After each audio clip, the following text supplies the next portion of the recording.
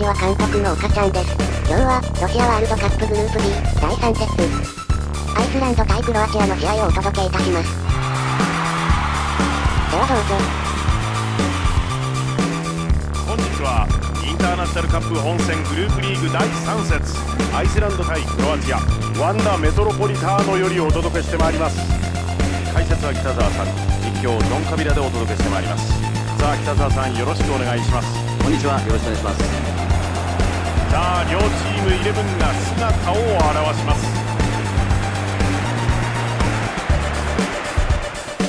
選手スターティングイレブンです。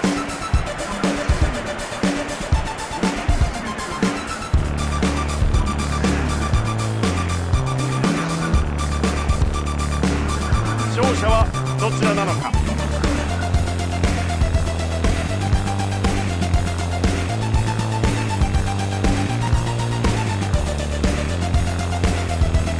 あ間もなく試合です。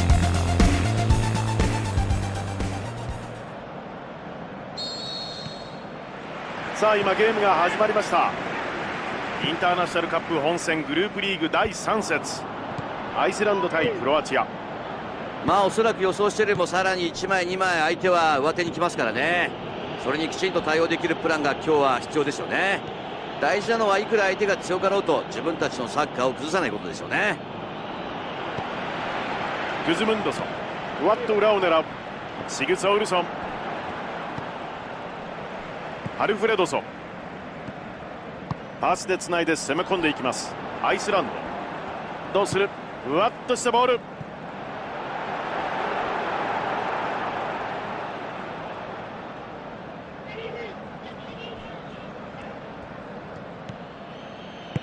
大きく縦へ。マンジュキッチ。ストリニッチ。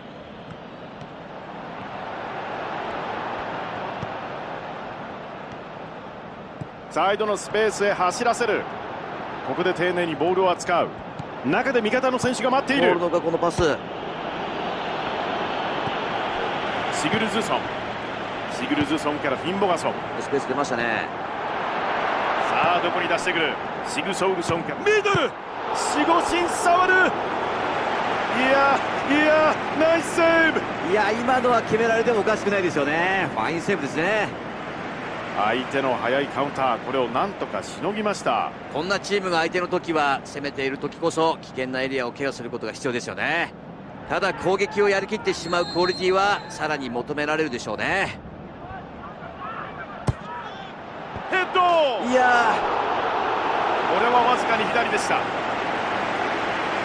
アイスランド。決定的なチャンスを収めることができませんでした。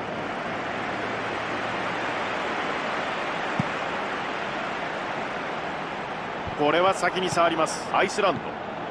シグソウルソンからフィンボガソン。ミドル。もう空いた瞬間狙ってきますからね。もともとミドル得意ですからね。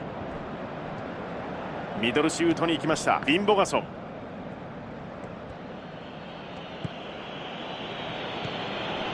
ペリシッチペリシッチからラキティッチ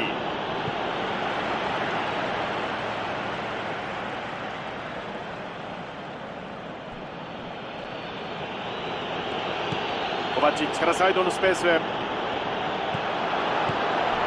シュート！いやよくこれ守りましたよね。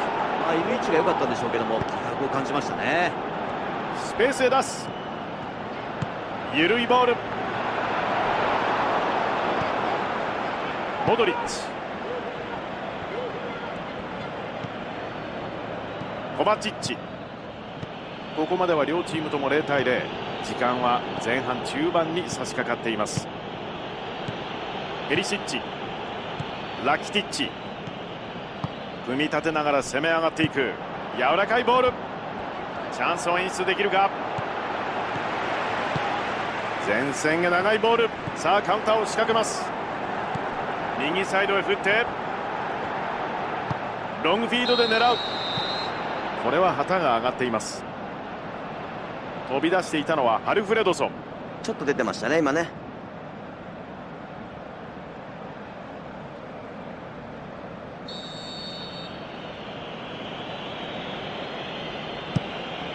スバシッチ大きく前線へ。アルフレドソンアルフレドソンからアーチのようなパス。ペリシッチ。前半30分を過ぎたところです。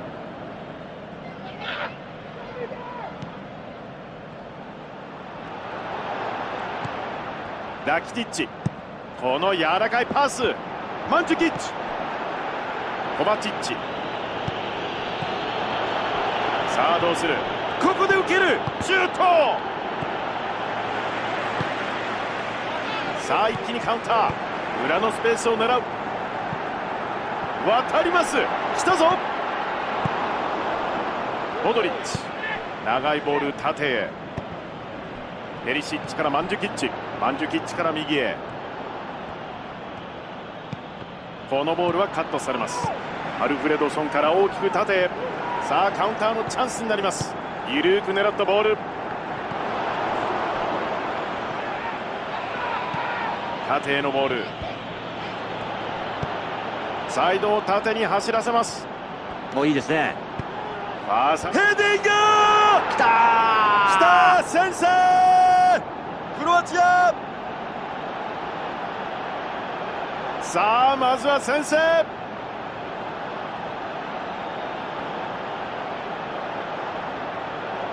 クロスに頭で応えました。いいシュートでしたね焦らず落ち着いてしっかり頭で決めてきましたからね。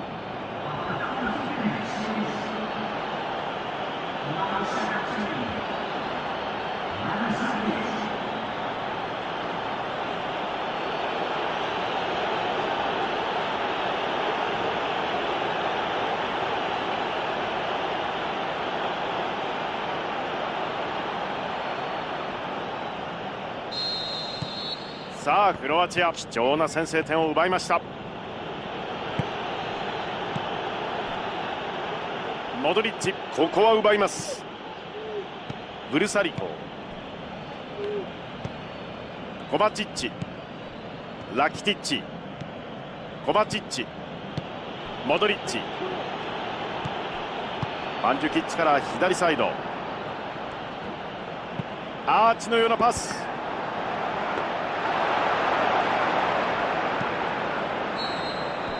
ここで長いホイッスル前半終了です。45分間戦って1対0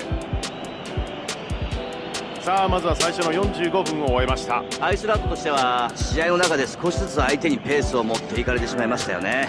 まあここで一旦途切れるわけですからしっかりと立て直して後半に挑んでいきたいですね。では引き続き試合をお楽しみください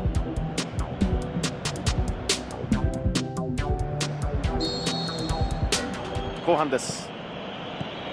この後半の入り方っていうのは非常に重要であって守備的にいってしまえば点を取れない。けど取りに行かなければいけない、非常にその辺の、ね、バランスをどういうふうに崩していくかということが一番マネジメント能力。この辺が重要になってきますよね、なるほど。シュート!いやファインセーブです。いやキーパーの反応最高ですね。素晴らしいですね。いや枠捉えてましたよね今のボレー。そうですね。しかしまたそれ以上に素晴らしい反応を見せたキーパーです一人で駆け上がる。さあボールはマンジュキッチへ。ボール入りましたよ。いやーいいボールだ。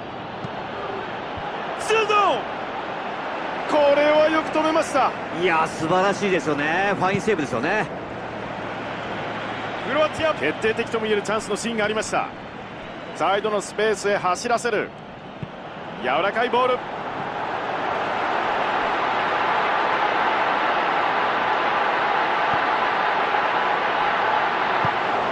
ティッチから縦へのボール。緩く狙ったボール。いいボールでしょ。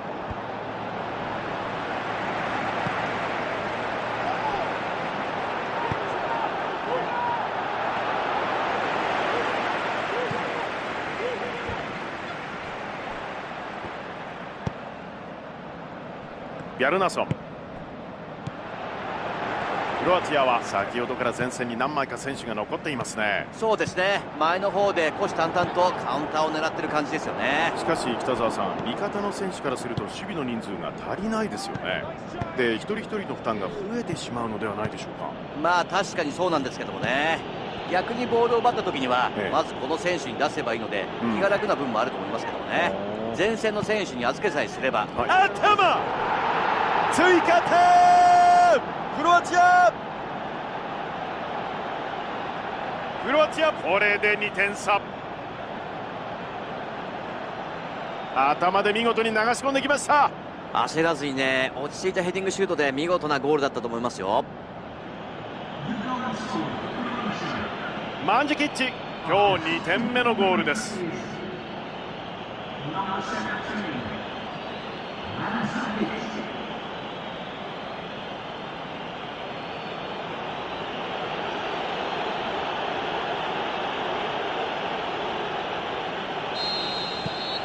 さあクロアチア得点を重ね2対0という展開クロアチアとしては、ここからさらに自分たちのサッカーがしやすくなりますよね。2点リードは精神的に大きいですからね。ゲームの主導権を握る上でも、状況としては非常にいいですよね。マンジュキッチから右サイドラキティッチ細かくパスをつないで攻め込んでいきます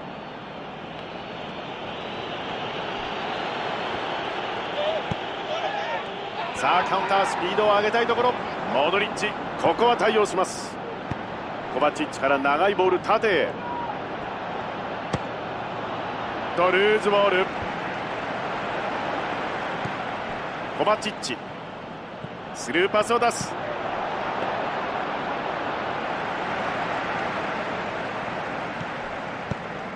長いボールを送ります。グズムンドソン。アルフレドソン。ロングフィードで狙う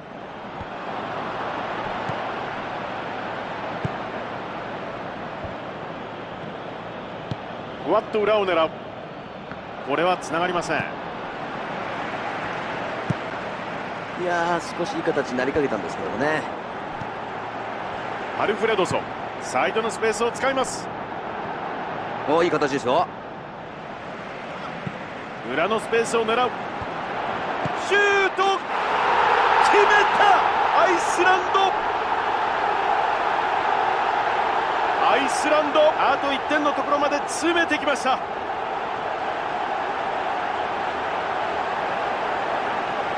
インボガソン今のは北澤さんうまく相手のチェックを外して随分いい位置でボール受けましたねそうですね。出し手のイメージ通りの場所に、ここぞというタイミングでもらいに行く、その動き出し、まさにこのゴールですよね。一見シンプルに見える今のシーンも、実はコンマ何秒の正解で飛び出すタイミングを測ってますからね。相手ディフェンダーよりも早く反応してしまったら、オフサイドになりますし、この駆け引きこそ最高に難しいですから、見事なゴールですよね。アイスランドここで選手を変えるようですさあアイスランドこれで相手を射程圏内に捉えたでしょまだ急げばチャンスありますよ。うマンジュキッチ狙いましたね。さあ切り替えてオーバーラップ。おいい形じゃないですか。どうだ？ここは抑えました。ここで引き離せばもう勝負決まったようなものですからね。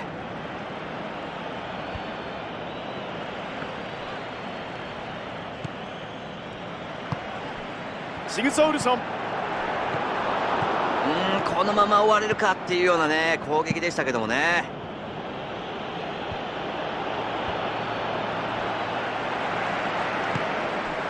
アルフレドソンからフィンボガソン。スペース出ましたね。うん。シュート。決まった追いついた。アイスランド。アイスランドここで同点。この時間に追いつきました。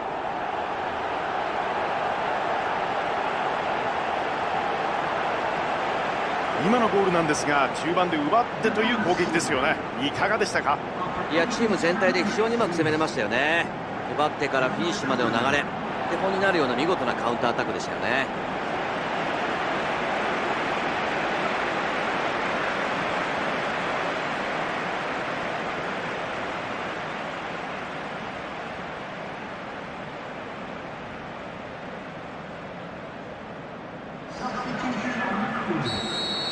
さあ共に選手交代があるようです。さあアイスランド2人の選手を入れ替えます。さあアイスランド。土壇場での同点劇です。最後まで粘っていればね必ずチャンスは出てくるということを見せてくれましたよね。ペリシッチからラキティッチ。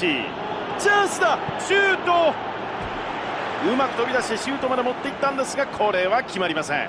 浮き球に対していいタイミングでラインの裏へ飛び出しましたよね。これを繰り返していけばいいと思いますけどもね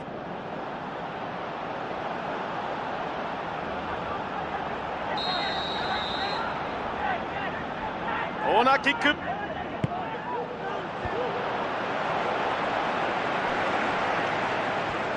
サイドを縦に走らせます。上げる中央へ。頭できたいや勝ち越し。クロアチア。クロアチア。決勝点とも言えるでしょうか。このゴール決めました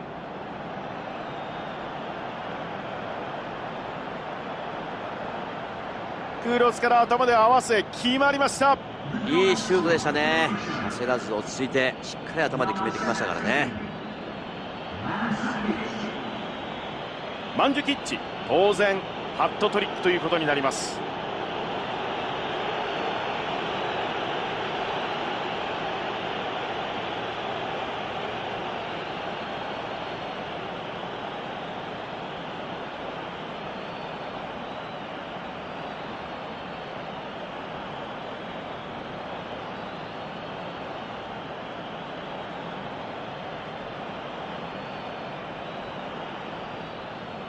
さあ選手の入れ替えが激しくなってきました。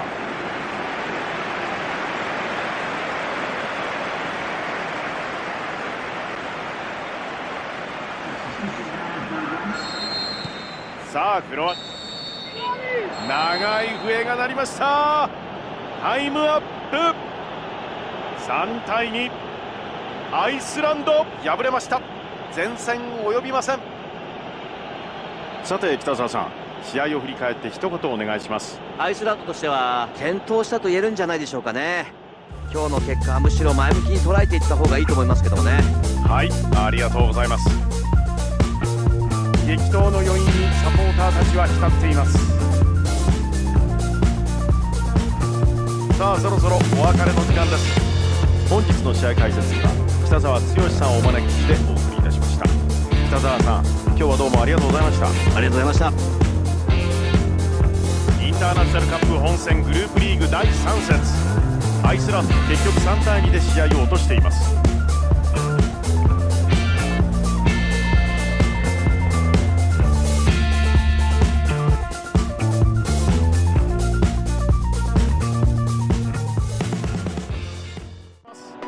もういいですね。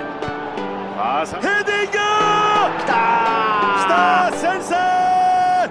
クロアチア